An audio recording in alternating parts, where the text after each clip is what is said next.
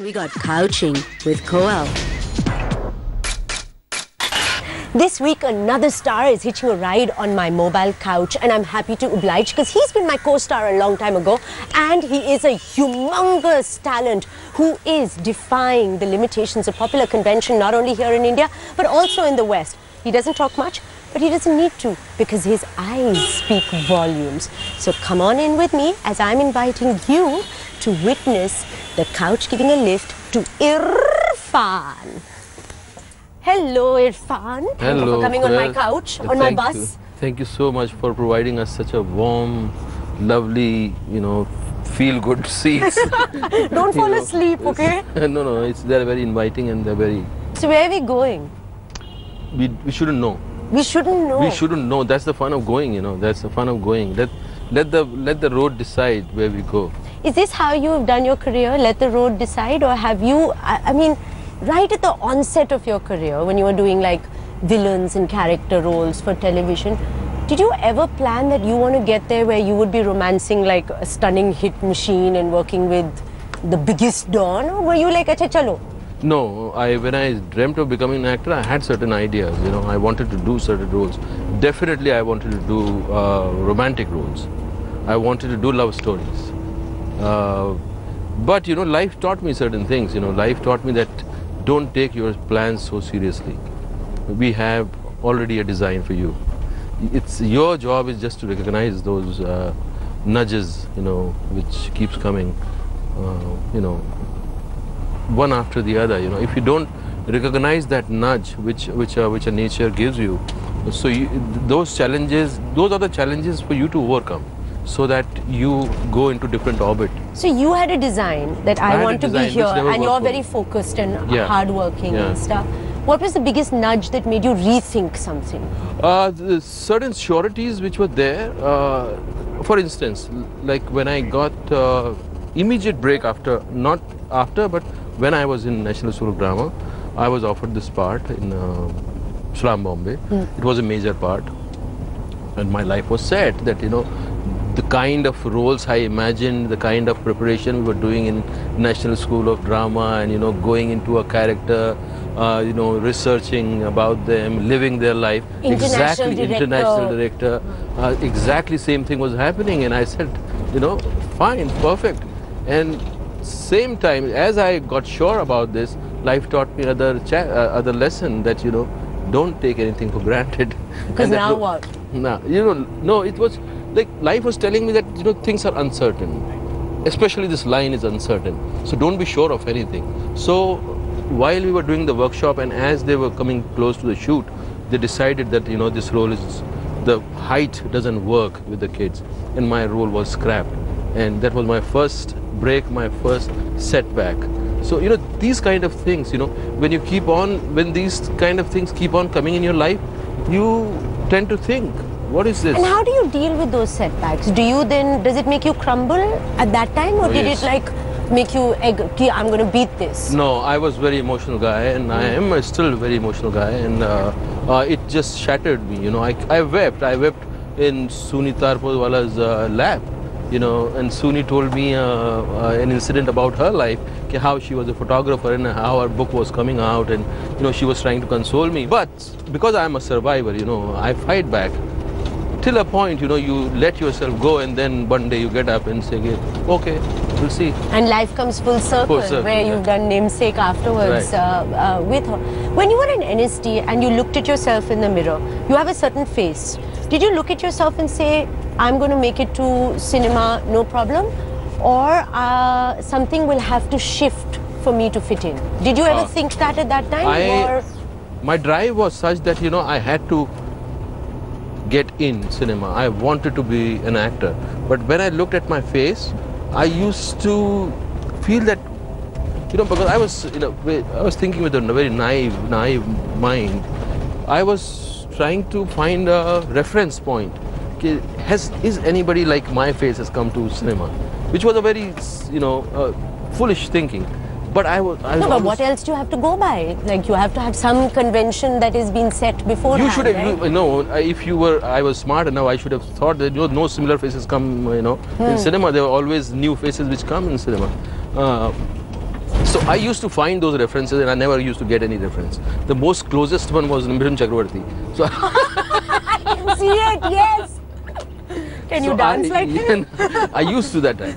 Uh, so, uh, but I had a curly hair, so I used to, you know, uh, blow dry them and, you know, try to put them in front of my face, you know, uh, for some time. Uh, but, you know, my, my, my hair was not so soft. so it used to, you know, become so strange. I'm trying to pull them down and they're hard. They used to become like, you know, uh, uh, chajja, you know. So that was, uh, so I had doubts about my, uh, definitely, you know, about my face and I thought whether I'll be fit in, I'll be able to fit in or not. Uh, but I was very driven. You've said earlier that, you know, the key to your success is being belief in yourself, that find your strong points and then hold on to them. What or who sort of helped you unleash what your strengths were and what are your strengths? I think it's you, it's you yourself. You cannot uh, uh, depend on anybody because you know uh, people have their own uh, ways of thinking, but the way you can understand yourself, nobody can understand you. And the way you can identify your strong point and minus point, uh, nobody can. So what are your strong points? What would be your strongest point? Let me come. Let me come to this later. First, you know, I'll, I'll give you an example. Like when I be, I thought of becoming an actor, I had certain ideas. You know, I I was uh, I was in drama school and there was film festival, and I saw Kamal Haasan coming for that festival, and he had a different look completely. I used to see, uh, you know, Robert De Niro's pictures, in, uh, and I, every, every time I used to find him, uh, kind of, you know, different life, living a different life, and that used to attract me a lot. So when I came here, I started practicing that, you know, whenever I'm getting a role, so I'm trying to imbibe that look. And I had photo shoot, that kind of photo shoot, you know, where different looks. Most of the people, you know, they discouraged me. They were, they were my well, you know, well wishers, and they said, "Keep, what are you doing this? You know, why we don't see you? These are all different looks, and no, a director will get confused." So, so it was completely contrast, you know. So I had to take a call, you know, what I want to do. So uh, I think you yourself can be your guide, you know, nobody else. You so can in take a a, sense, you know. you've been uh, kind of instrumental um, in changing what Bollywood is today. I mean, today we're in a good place. We're in a Good place, transitory yeah. place, Very, very where uh, someone like you is mainstream. You are not on the periphery anymore Yeah, at yeah. all. But perhaps you've been. Do you feel like you were a pioneer? That if everyone's advising you no, and you're still going ahead and doing something like I that? I think it's for the other people to decide and give uh, those kind of definition because that's that definition is not going to do anything to me. You know, Hmm. uh, it can you know they can have different views and you know they can put me on some pedestal and they can they can you know uh, mm, uh, you know pull me down you know whatever. But I have to re- I have to rely on my work. What I remember, what processes I remember uh, when I did some film, what stayed with me, that is my strength. You know, these But labels. because you love the craft. Right? I you like love it. that. I like it. I it's sometimes you know it's it's not fun doing it. It's it's like you know pain, you know, uh, doing some part. But you want to do it. That's a drive. And once you have done it, you know that's a kind of achievement. That's a kind of So money has not been a drive ever. Wait, Money wait, there's is- a quote of yours that says, I often visualize giving my mother the big black suitcase crammed with notes like the gangsters do. Has that come true or not? Yeah, it's come true. but you know, when you when you uh, dream about these things, you are too young, and you know, life has its own colors. You know, life surprises you. Life never, you know, uh, it's it was different. You know, it's different. Um, I was very emotional with my mother. I was I'm a sentimental guy. You know, um, I do know that there are you know strange things attached with sentimentality, but you know I am what I am. so I used to feel like that way. You know, I used to make my mother happy because she thought, you know, why is he doing acting? And I used to tell her that you will be proud of me. You know, I'm, I'm not going to do something in the, in the on the screen which you'll feel, oh, why is he doing that? I'll do something where you'll you'll feel proud. You know. And is she? I, uh, sometimes, sometimes, yeah. So you're definitely in the Khan's bracket of the big crores and things. Uh, or no, are I you still know. being No, paid the I'm not. character money? No, no, no. I have my own price, but uh, uh, these all clans, you know, these these categories, you know, I I don't believe in that, and uh, it doesn't do anything to you. You know, it's your individual connection whether it's Salman or uh, Shah Rukh or Aamir, they have they are not there just because their name is Khan. They are there because they have a special connection with the audience. They could be Tripathi or they could be you know some Sayyid or you know they could be anybody. You know. So talking about your uh, relationship with your mother, you talked about an emotional uh, thing. This film, Piku, is about a father-daughter relationship. Have you been uh, good? You know, eventually all of us will have to look after our aging parents, etc. right. Have you been a good son? I have I am very responsible son, but uh, I have a very uh, strange relationship with my mother. That uh, we have a lot of arguments. You know, we don't. Uh, what the way she thinks, you know, the way I think, it doesn't gel. But, but it, it, it doesn't mean that we, we don't have conversations. You know, uh, I used to have all kind of conversations. She was very modern in her way. You know, I could have, you know, I also discussed sex with her. Uh, that was, you know, it was not a problem but the way she deals with her life uh, you know i it's not i don't agree with it and i have fights and the way i take things you know she tries to impose certain things on me which i don't like So are you different as a father? i am very different as a father and uh, the thing Do you get to? Are you an involved father firstly with all your crazy father. schedules? i'm, I'm very involved father except the studies and i hate schools I also hate schools. I, I wish uh, you know they could never. I, I you know I sometimes uh, you know, find Uh, you know ex- excuses not to send them to school. I what I have realized that you know they this is a generation which is very a lot of information. So as the information comes, they also form an opinion. And as pa- parents, you try you are you are in a hurry. You are eager to teach them and that happens with first child you know which is you are very anxious and you want to teach them everything and that becomes a burden on child you know uh, what i've realized that you know it's a the dialogue should be open you know it should be they should feel free to discuss anything with you you should give you should create that space and then everything falls into place everything falls But into place. But it's work in progress, right? It's work in progress. You have to All work on yourself to be Yeah. able to be Yeah. not like do it like this and you're my property. Um, Deepika in this film. Now, what happened in this film or something that convinced you during the making of this film that yes, she deserves to be number one? I think uh, not during the film. Uh, what during the film, what I discovered about her is the glow what she carries. You know, it's a strange glow she has. I don't know how does it, it come. So glow of success, Irrfan, you have it too. no, I think I think It's the glow of success. I can't match her glow. You know this, and also uh, the upbringing. Which she, you know, she she oozes that kind of upbringing. You know, what family she's coming, and uh, there's a kind of uh, strange uh, integrity about her. You know, she is number one, but she has her interest going all around. You know, like uh, she wants to explore herself as an actor.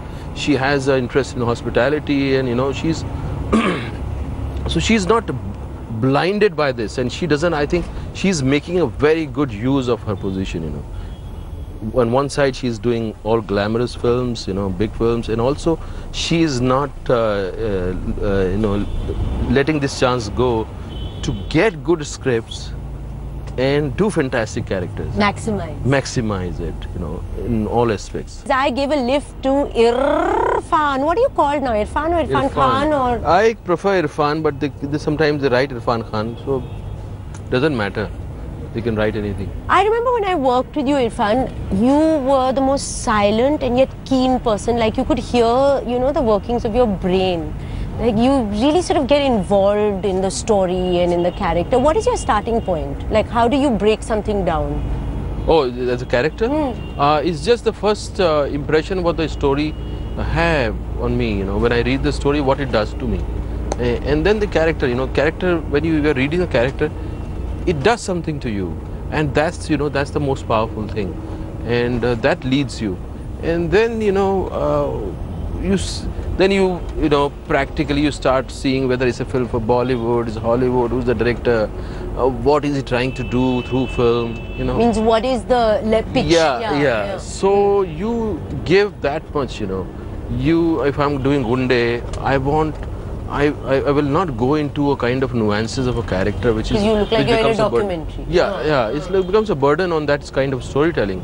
And while wa- doing the film, you know, you you see the director and you see, you know, his his language. You get the impression and you know accordingly. Or sometimes the films are so personal that some directors just allow you to be what you are. You know, you don't have to bother about anything. You just be there, and that those are fantastic experiences. So, what is a character that has not left you or really made an impact on you from all the was such his character. In treatment, character was such. Uh, namesake's character was such. Hassan's character was such, which stayed with me. Uh, in treatment character, I wanted to leave it behind. You know, So, it just stayed with you in a negative, negative way, to- like that feeling. modern, You know that yeah. that feeling of, of the namesake character. You know, it made me feel old, and I hated it.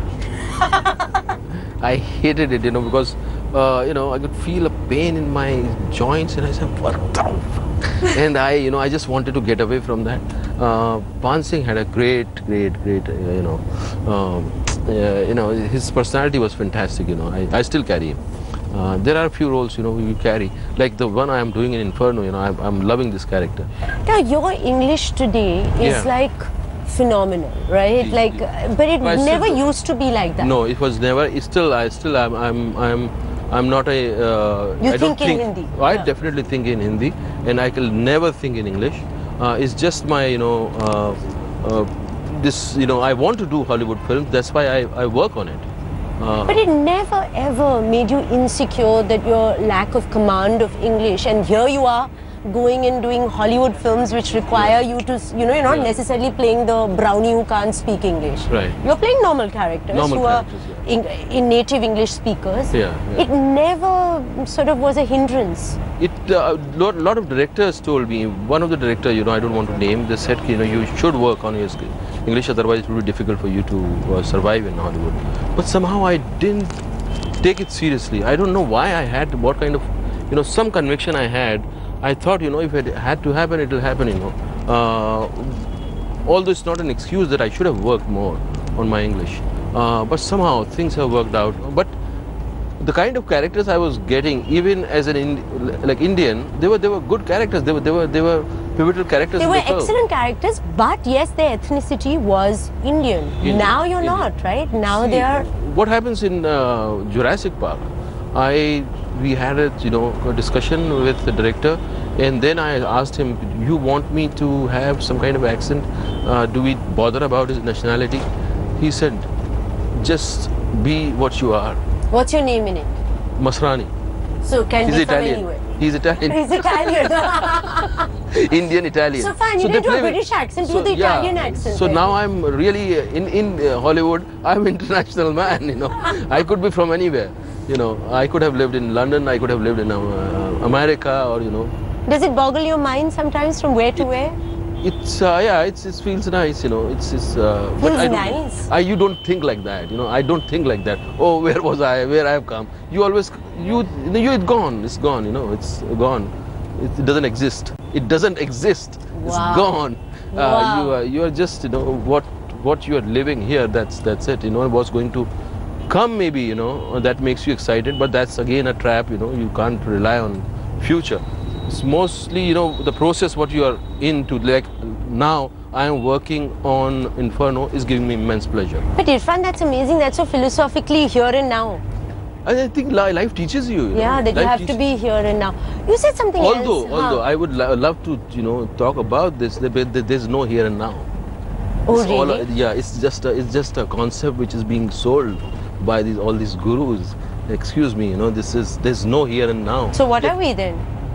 We are just traveling. We are just So constantly wait, there's in motion. no here and now There's because no- there's a, you because can't. there's- The moment yeah, passes in an instant. Instant, you know.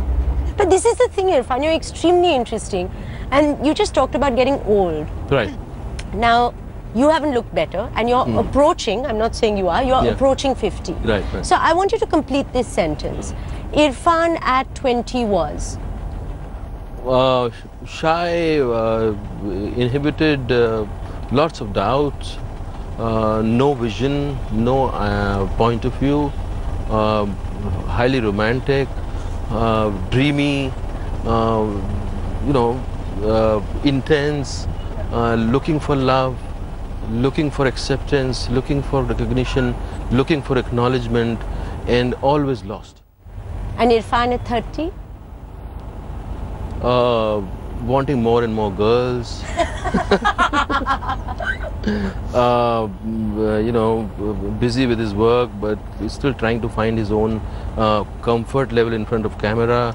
A lot of dreams and exciting life, you know, and having fun uh, and surviving and trying to make best of whatever uh, work was coming, you know, And and going through some uh, heartbreaks and everything, you know. heartbreaks and Heartbreaks, you, yeah, you were married then, but you were falling in love left, right, and center. I was I was married very late, you know. Uh, I think before that I had some heartbreaks, and that was the most interesting lessons I've learned in my life.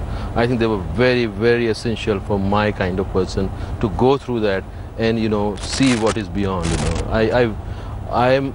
It's changed my life, you know. Those those. I'm so happy to hear this because you know most people think heartbreaks, think matters of the heart are so frivolous, but that's what make, gives you the intensity the, to feel. you, it gives you that intensity and then once it's, it happens you are shattered you don't know what was going to happen you want to die you want to i want to beg i wanted to beg in the street because there was no motivation left i used to feel uh, claustrophobic when i used to feel when i used to look at uh, dogs because i used, I used to see a kind of pleasing quality in dog i used to see uh, they are always trying to do chamchagri to find their food you know and so I, I was going you know nuts You are a head. nuts. I am, I am. But you know, I you was were going. I- hating out of- dogs because they were like uh, trying to befriend you and trying to. no, There was, I could see a kind of manipulation that you know, it's, it was not genuine. It was for their food. What whatever they were doing, they were doing it for their food. You know, they are trying to be in a group and they were trying to you know survive. And uh, people used to uh, define it as love, and I used to see something else in that because I was going through that experience of you know dejection and and you know everything. But so th- that taught me a lot. You know, I I, I loved that. You know, I loved that in the sense. And now I, it's a perspective. When you get the perspective, you you know you learn so many things. And Irrfan in his 40s. Uh, I started discovering about religion. About religion. religion and suddenly you know my my I, I discovered that you know in 40s that uh, uh, we are conditioned badly programmed by our societies and our parents and our you know fears and our uh, you know concerns and our securities and that's what is making our religion so important uh, although uh, it's it's useless uh, you are you have to find your own religion you have to find your own connection with god and god uh, is a very very personal thing you know the relationship with god is very personal thing you know it's it doesn't need to you do- don't need to identify with any religion you can ex- you can allow all the religion to come in whatever works for you and uh, that's your religion you know you have to discover your religion you cannot become part of this gang you know one religion So you're not a practicing Muslim by No, no, any. no, I'm not, And I'm you not. have a mixed family. And i have a mixed family and uh, how do you bring up your children? So what are you imbibing? whatever good is there So your religion is what exactly then? It's my religion. There's no name. When I give name to my religion, it will be destroyed. ah. It will be gone. So it's here. it's here. It's the connection with anything. You know, it's connection with a creation, creator. You know, if there is any. You know, if there is any. Uh, there could be just a consciousness. There could be a, a just awareness which is doing all this, uh, you know, mysterious games. You know, uh, so You know, that, there that isn't a subject that you talk to Irrfan about that he doesn't think deeply about and doesn't have. I, I could ask you about anything. I could ask you about the color of uh, my couch and you'll have something to say about it. I, I want to do a film like that. the emotion should be. the emotion should be red and furry. Irrfan in his 50s will be. Uh, I don't know. I want to find love. Lots of love. Lots of love in my What life. kind of love? Romantic love. It could be romantic also, you know. Uh, uh, uh, with everything, you know. Your heart should be like. Are you feeling that you've saturated that at this point in your life? No, I'm. Uh, I thank God to these stories, you know, which keeps on. I keep on reviving things because of these stories. If I was a businessman, I would have been a different person, you know. These stories give me a chance to, you know, to ignite my heart, you know, ignite myself, ignite my sensibilities. So I hope, you know, my heart should be, you know, it's, it, it should, you know, it should be like on LSD, it's 24 hours. Oh my God. Now, all these beautiful actresses that you have worked with and continue to work with Deepika, Aishwarya, Natalie Portman, Tabu. Have you ever come, or anyone else that you can think of, have you ever come close to really falling in love with them? With these actresses, hmm. I'm not going to tell you. Yes, you are. No. Yes, you. I'm not going to tell you. uh, you are in love many times, you know, you are in love, and uh, sometimes that love manifests, sometimes it doesn't. Sometimes it's just your own, uh, for you, you, you protect that feeling and you just live that feeling and you live it beautifully and, you know, you just uh, experience that. But falling in love is the most beautiful thing in this world, you know, it's just. And he wants it over and over and over, and over and yeah, over but There's a kind of wave which keeps on going whole day, whole night. There's a wave which travels inside you, and that's the most beautiful thing on this planet. And on that note, I'm going to say goodbye to Irrfan, who's feeling the waves and the waves of love. Thank, you so much. Thank you.